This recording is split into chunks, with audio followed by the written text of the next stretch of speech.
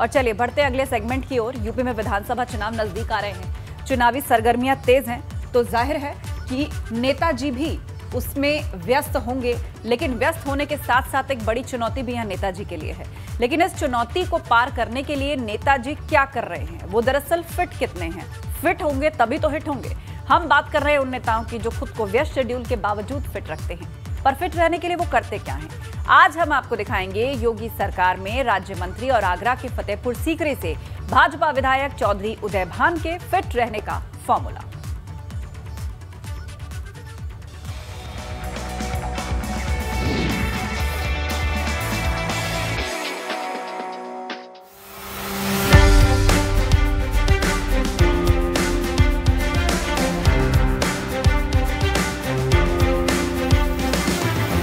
आगरा से जो फतेहपुर सीकरी से जो विधायक हैं योगी सरकार में मंत्री हैं चौधरी उदयबान जी वो सुबह अपने लिए थोड़ा वक्त निकालते हैं।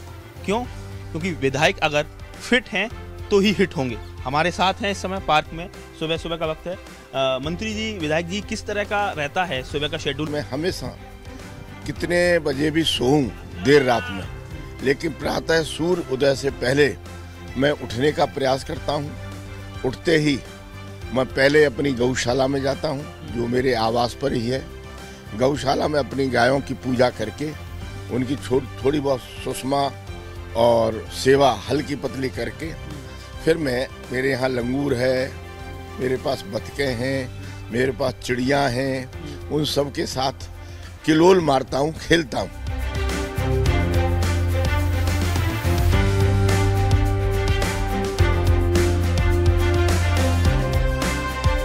मैं नियमित पूरे जीवन 14 से 16 घंटे काम करता हूँ और प्रातः मेरी जीवन शैली पाँच बजे से शुरू होती है और लगभग रात को 11 बजे मैं बिस्तर पर जाता हूँ।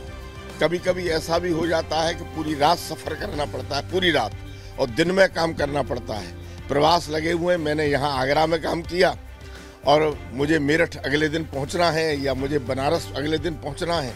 तो पूरी रात सफ़र करना और पूरे दिन काम करना, उसमें से भी सुबह चंद मिनट व्यायाम और प्राणायाम के लिए ज़रूर निकल